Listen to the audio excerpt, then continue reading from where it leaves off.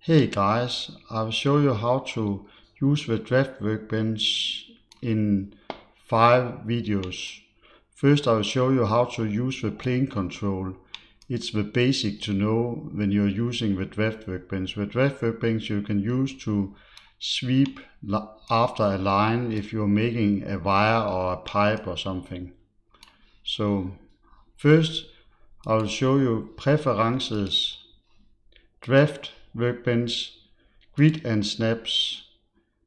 Uh, you can set under grid the color of the grid, the main line every five.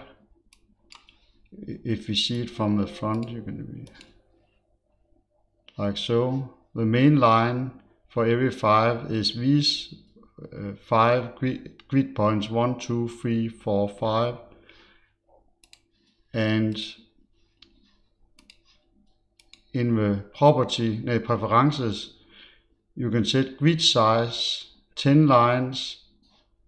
Um, it's only in here you can set it.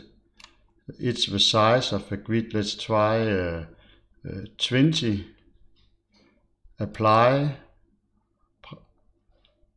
And you can turn the grid on and off by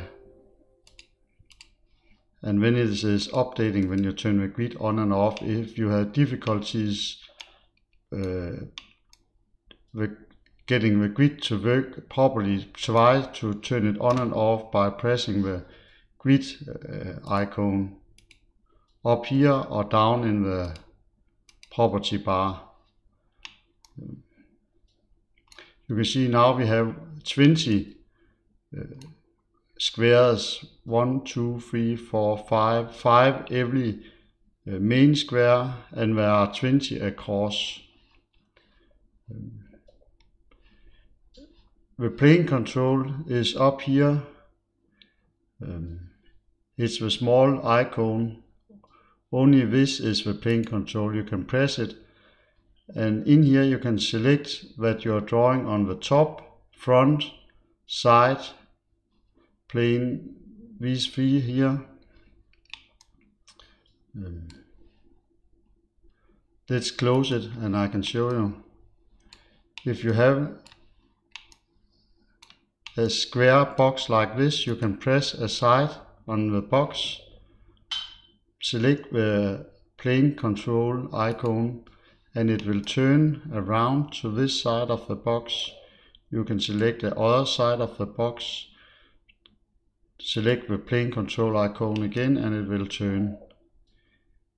If you have a line like this here and you want the plane on the side, you can select three points, use the control key to select three points. You can see now we have selected three points. Select the plane control icon and the grid will turn the plane will turn. You do not have to turn the plane if you're drawing something. You can draw it in the air without the plane control. But it is easier to use the grid. If the grid is here, you can select something and draw it and it will be placed on the grid. If we want the grid to be in an angle, select three points. Can be difficult to select. It snaps control key and select three points. We can take this one. Select the plane control icon again and the grid will be in an angle. Now you can draw something in an angle Let's draw a square up here. You can see now we have a square.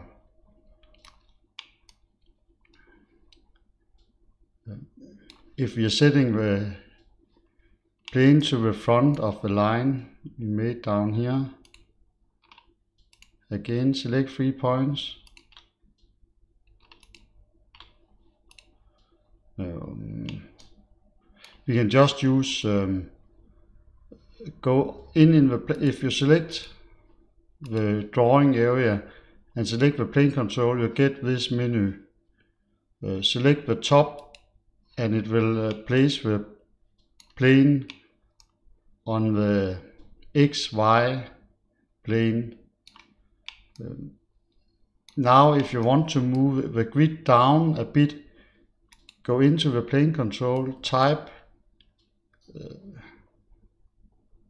the line I have made and the box is 200 times 200 times 200. So if you type minus 100 and select from top, the top icon, it will move down 100. Now you can see it is the halfway down. You can also go into the plane control. Now the grid is facing this direction. And if you're selecting a point in the same direction and move working plane, it will move the working plane up and down. We can do it again go in, select a point somewhere, move working plane button and it will move up here.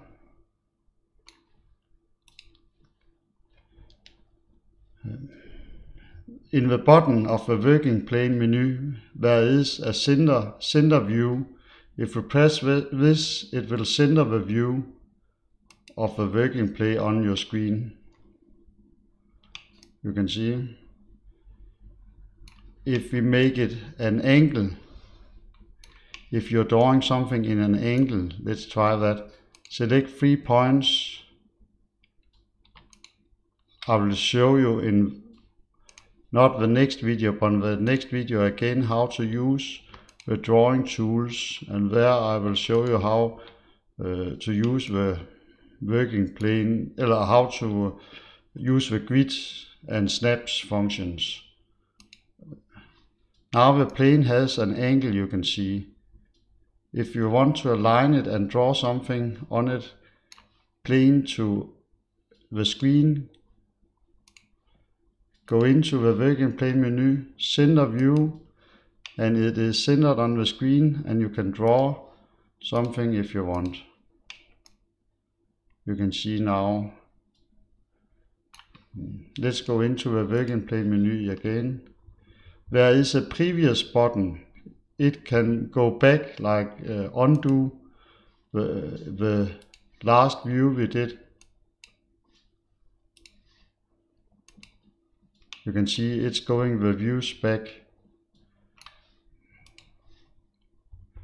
Um, in the working plane menu, you can set uh, the main line, let's see it from the front. Um, let's set main line every uh, to uh, 10.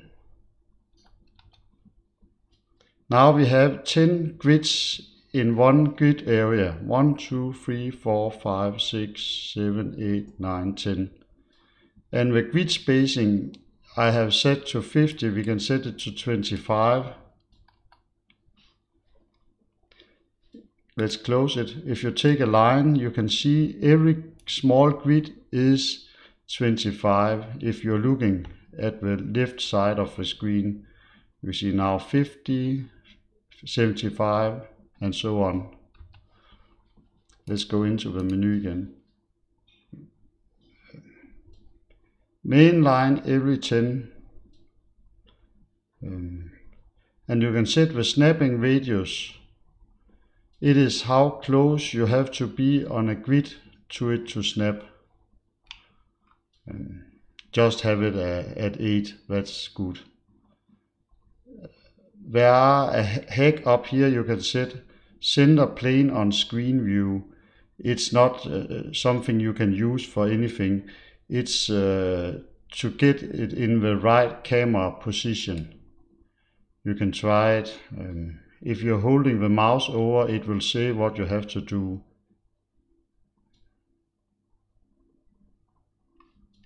If it's checked,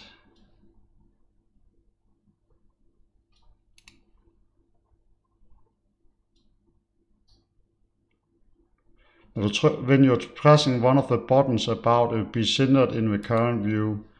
you can see now the working plane is out here. It is something you can use when you are using camera positions. It's not anything you normally would use. The automatic alignment and align to view is also something you normally not would use. If you use the automatic, it will automatic align the working plane when you start to draw something. Let's draw a line here. You can see the working plane turned so it was flat to the screen, but you cannot use it for anything. Let's try the other one. Align to view. If you set it to that, if you select that, you can see if we turn it, now it has an angle. We go in, press align to view. It will turn the working plane so it is aligned to the view. So that's not anything you normally use. So uh, the thing you will use normally is select a face, press the working plane button and it will align or select three points somewhere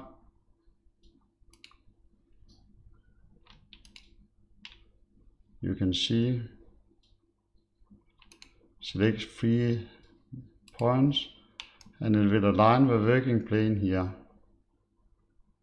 So I tried to explain it. Thank you for watching. In the next video we will look at snap functions